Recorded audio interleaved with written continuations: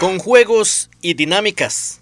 Este martes 5 de septiembre se realizó una actividad que reunió a estudiantes y representantes de instituciones y que tuvo como objetivo la prevención del suicidio. Queríamos trabajar en un centro educativo con jóvenes, ¿verdad? Que son los que principalmente este, están presentando algún tipo de conducta suicida. Entonces tenemos que trabajar todo lo que tiene que ver con prevención y promoción este, para que ellos tengan las herramientas necesarias para que puedan tomar decisiones, para que puedan este, saber qué es lo que quieren hacer, para que puedan enfrentar las diferentes circunstancias que se le presentan en el transcurso de su vida y más que todo en este periodo de la adolescencia que es de pronto a veces crítico, ¿verdad?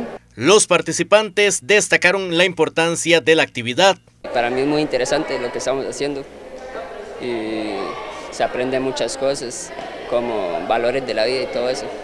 Y la verdad es que yo la veo muy divertida y nos está dando un buen ejemplo. ¿Qué es lo que más te ha llamado la atención?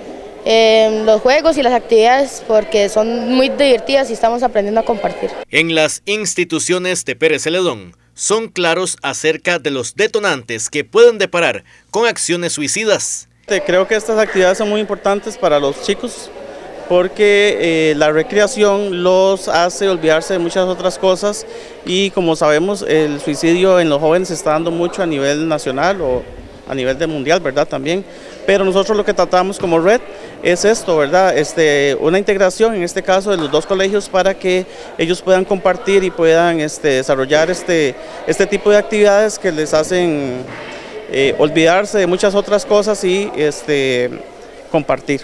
Como universidad venimos a apoyar las acciones del el plan anual de trabajo que tenemos y hoy vamos a estar trabajando acá eh, específicamente la estación nuestra, el autoconocimiento, que es la primera habilidad que la OMS ha dicho importante para generar factores protectores. ¿Qué hacemos en, la red? Eh, bueno, en el ILAIS, lo que hacemos es ir generando en la comunidad factores protectores que pueden prevenir esas conductas de autolesión. Sabemos que la mayoría de mujeres intentan eh, la parte del suicidio, es donde está la mayor cantidad de mujeres, pero quien hace el, acto en sí es una gran cantidad de hombres. Entonces, por eso es la situación que nosotros estamos trabajando, el tema de prevención. Eh, bueno, ustedes ven, ven, las diferentes bases que hay aquí. En el caso de la municipalidad y el patronato, nos corresponde lo que es el manejo del estrés y la atención. Esta actividad se realizó en el Colegio Técnico Profesional San Isidro, en Pérez Celedón.